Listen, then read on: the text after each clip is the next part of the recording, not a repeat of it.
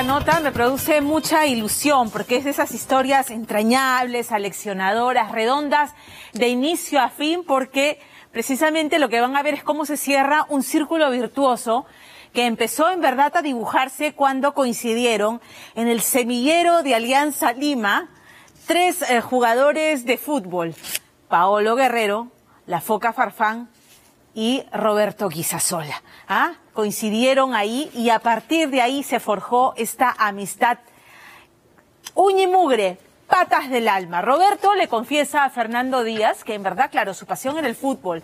Y él se esforzaba muchísimo porque amaba y ama el fútbol. Pero sobre todo porque así se aseguraba ser convocado y seguir al lado de sus patas, de la Foca y de Paolo. Cuando él ya se retira del fútbol, y hace algunos meses, los convoca nuevamente y les dicen, mira, tengo este proyecto. Me había comprado este terreno y construí un edificio en Puente Piedra pensando, lo voy a convertir en edificio, voy a vender, pensando en hacer negocio. Pero luego dijo no y por eso los llamó. Quiero hacer realidad lo que nosotros tuvimos cuando fuimos chicos, talentoso con el fútbol, pero ¿de dónde sacábamos? ¿De dónde sacaban nuestras mamás para educarnos y para pagar la academia? Y es así que los tres le cuentan a Fernando Díaz con una pasión que conmueve, porque Paolo, La Foca, Roberto hablan de este proyecto que es hoy día una realidad. Han fundado la Casa de Alejita.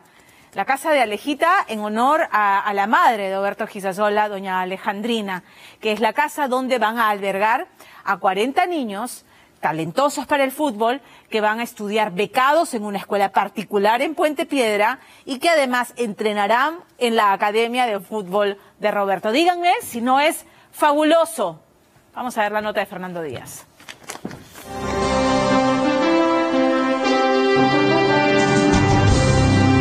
Los diamantes en bruto no están a simple vista.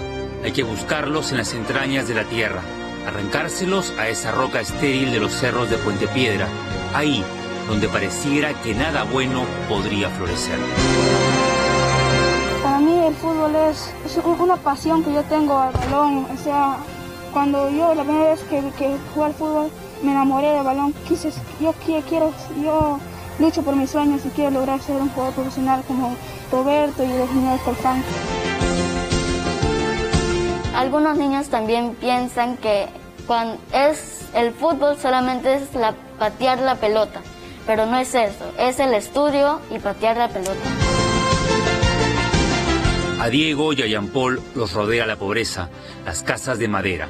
No tienen unos chimpunes de marca, pero les basta una pelota para convertir el arenal en un estadio europeo, para hacer malabares con el balón y llevarlo tan alto como sus propios sueños.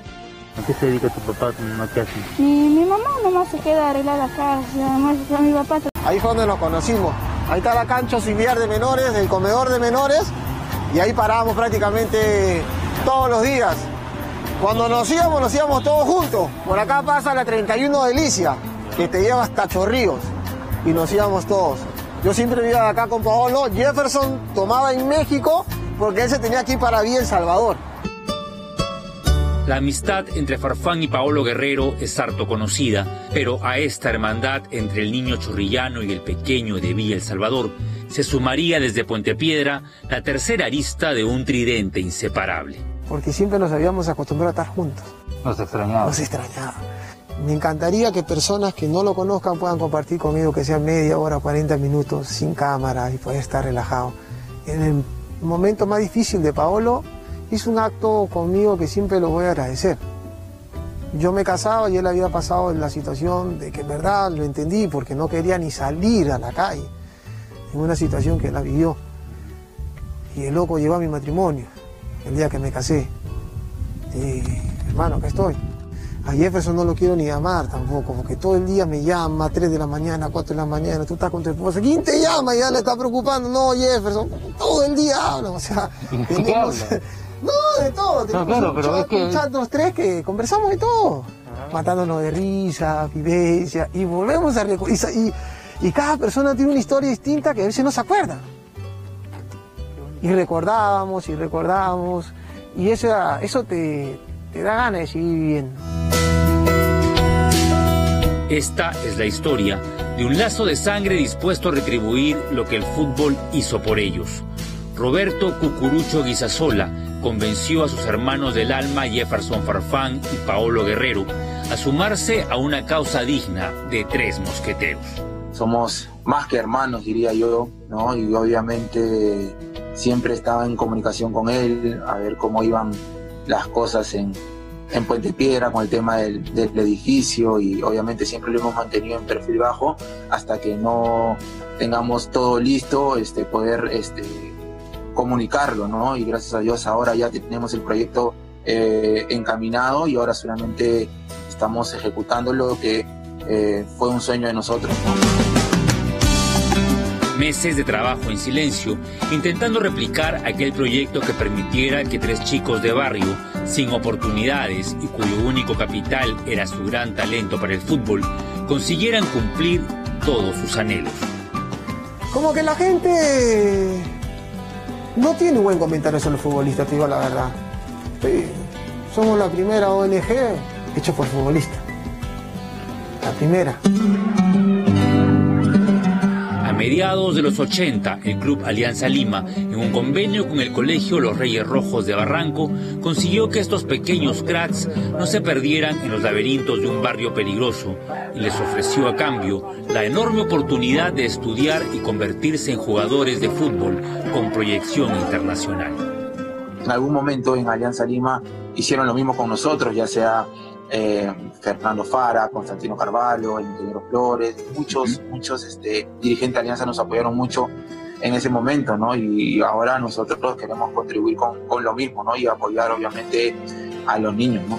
Porque si en ese momento no pasaran esas personas por nuestra vida, hubiese sido nuestra situación muy distinta. Tengo amigos que, uno muerto, el otro preso, algunos son profesores, algunos trabajan en el banco, y en verdad es un mundo muy distinto. En una urbanización de Puente Piedra se levanta la casa de Alejita. Me fui a los 11 años a prácticamente cumplir mi sueño y siempre tuve el sueño de tratar por lo menos a llegar a ser como mis ídolos puentepedrinos. Claro, o sea, tienes aquí a tu galería de, Sí. de deportistas. Franco Navarro, También de Puente Piedra. Puente Piedra, mi tío Guillermo La Rosa, tío. Este departamento es para la gente de Puente Piedra. El que el de abajo va a ser para la gente de Villa Salvador y, y después para la gente de Chorrillo. En esta residencia de cinco pisos que tiene todas las comodidades, se alojarán niños de escasos recursos pero con gran potencial para el fútbol. Señora Carla se encarga de, de los potajes para los muchachos. Acá andamos por un pasillo, fotos. Este es un cuarto para dos muchachos que descansan y con una frase siempre es bueno ponerle, ¿no? Ningún soñador es pequeño y ningún sueño demasiado. Este partido fue el Perú, Nueva Zelanda que metió el gol Jefferson. En el último nivel hay incluso un mini departamento donde algunos padres podrían instalarse para seguir de cerca la evolución de sus hijos. Tú vas, hablas con el padre y el padre la única razón que tiene es el niño porque tiene talento, juega bien, pero ya al niño le dan una plata. El niño se acostumbra simplemente a jugar así y no se enfoca en el primero que es el estudio. Pero ¿cómo llegas tú a decirle al padre? Es una ayuda para el padre. Tienes que enfocarte en el niño. Por eso, Cucurucho Guisasola va en busca de esos niños en las convocatorias que anualmente realiza en su academia de fútbol.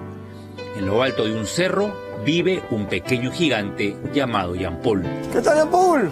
¿Cómo estás? ¿Qué tal, maestro? ¿Cómo está? ¿Cómo va todo por casa? Lo que no tuve yo de, de- de chico, ¿no? Porque también jugaba más o menos, jugaba en un club, pero yo este, estaba en la selva, no tenía mu- mucho apoyo. Y gracias a Dios vengo acá y agradecerle a, a Roberto, ¿no? Que, que está este, apoyando, ¿no? En este, en este nuevo proyecto. Desde Moscú, Jefferson Farfán monitoreó el avance de las obras en la casa de Alejita. Desde el primer ladrillo, desde aquel día en que Roberto Guisasola reunió a sus grandes amigos para contarles el por qué se retiraría del fútbol. Una actividad que hice en mi casa, una reunión, una parrilla, comiendo. Dije, este año nomás hasta acá llego. Y me decían que por qué, que estaba loco, que por qué me estaba tomando la decisión de, retirarme. le dije que, que prácticamente mi mamá la tenía mal y que quería lanzar el proyecto. El cáncer se llevó a doña Alejandrina y la casa emergió también como un homenaje a todas esas mujeres que fueron padre y madre para muchos de ellos, llevándolos a los entrenamientos, disimulando el cansancio y aguantando el hambre. Esos niños viven lo que yo he vivido, ¿me entiendes? No es fácil. Eh, mi madre me decía que su sueño era tener algún día una casa con piscina.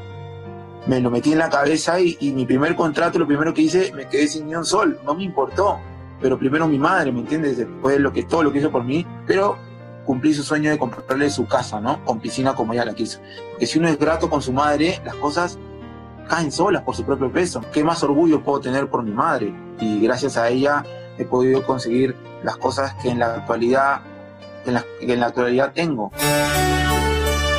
Los niños becados estudiarán gracias a un convenio firmado con el Colegio San Miguel Arcángel de Pontepiedra y las horas de fútbol serán impartidas en la Academia de Guisasola, que servirá como cantera para los clubes. Roberto siempre nos, nos decía que si no hay estudio, no hay el fútbol.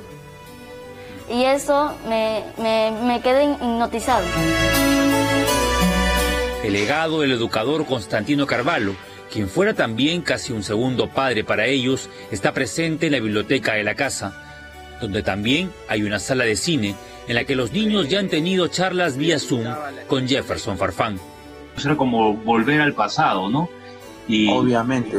¿no? Uno se identifica, ¿no? Uno se identifica bastante. Obviamente yo he tenido conversaciones con, con los niños eh, a través de Zoom y, y, me cuentan sus historias y de verdad que uno retrocede todo al pasado y de verdad son historias muy lindas, ¿no? Que uno hace, lo hace pensar mucho, ¿no? Yo he pasado por lo mismo y y por eso que uno pues tipo quiere dar lo mejor en estos momentos que ya está pues también no en el final de, de su carrera no en varias partes de este hogar hay fotos de los tres camaradas que destacan el valor de la amistad. Un vínculo que ni la fama ni el dinero ha podido romper.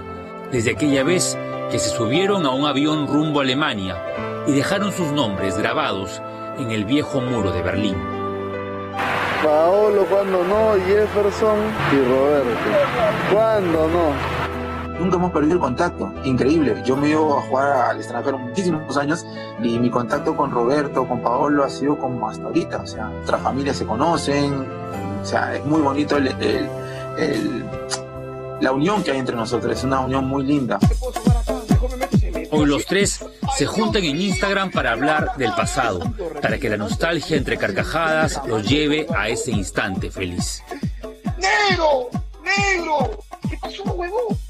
Negro, conocí un resto, una pollería. Y así, que dónde que acá cerquita. Y 2.50 el cuarto de pollo. 2.50 debe estar huevón este. Este debe estar de comer paloma, ¿qué chucha? Buenísima, ¿no? claro. Escúchame, tenemos que hacer nuestro canal de YouTube nosotros, te lo juro. Así. pero, pero la gente se queda pegada escuchándolos, ¿ah? Sí, que hablamos tonterías. O sea, esa, esa, es la realidad de nosotros. Así somos nosotros. Obviamente que somos tímidos, porque obviamente a Paolo, a mí no nos gustan mucho las cámaras, es la realidad. Sí. Pero o sea, en el momento que estamos juntos los tres, o sea, olvídate, es un mate de risa, o sea, nos reímos todo el día. Las historias de vida de Farfán y Paolo llevadas al cine siguen siendo inspiradoras para muchos niños. Desde Brasil, Paolo Guerrero se sumó también al lanzamiento oficial de la Casa de Alejita. Hola, les hablo su amigo Paolo Guerrero y quiero felicitar a todos los niños de la ONG La Casa de Alejita de mi amigo Roberto Guisasola, más conocido como Cucuruchu. Decirles que sigan estudiando y sean responsables, que sigan sus aulas y sus talleres virtuales que no se desconecten y se comprometan al máximo. Y también de pasada, eh, felicitar a mi amigo Roberto Guisasola por la iniciativa que tiene de ayudar a estos niños a que sigan adelante, a que consigan sus sueños y que algún día puedan ser grandes profesionales. Un fuerte abrazo y que Dios los bendiga a todos. Cuídense mucho. El verano ruso ha llegado para Farfán, quien totalmente recuperado del COVID-19 despeja dudas sobre su permanencia en el fútbol europeo. todavía estamos, tenemos Jefferson para rato o cómo vamos? Sí, claro. O ya todavía estás sí, pensando todavía. también. Lo- Los, los tornillos todavía están bien, gracias a Dios. Yo me imagino que unos cuantos años más y, y obviamente pues ya tomaré una decisión si, si me retiro o no, pero todavía quiero quiero sacarme un par de espinitas ya que el año pasado estoy lesionado, entonces que estoy con muchas ganas de, de volver al campo y, y- y- volver eh, a ser el, el Jefferson ¿no? de, de- de hace, hace poco tiempo. Reconocer la humildad de los orígenes ha sido fundamental para evitar resbalar en la pasarela de la soberbia. Roberto es casi siempre el cable a tierra, el hermano que entre cuatro paredes habla fuerte y claro para poner las cosas en su lugar. Y entre los dos, ¿quién es el más capo? Para mí los dos. Soy un privilegiado de la vida. De verdad. De jugar con estas dos personas, conocer a estas dos personas profundas. Veces la gente me pregunta, ¿quién es la mejor película? Soy lo que les respondo. Soy el hombre más feliz que mis dos amigos le han hecho una película. Solamente falta la mía. O sea, Llegar a Alianza Lima significó para estos tres potrillos un sueño hecho realidad. 25 años después, el momento de la siembra ha comenzado. El fútbol puede ser a veces una tierra de divos, pero también un campo fértil lleno de buenas personas.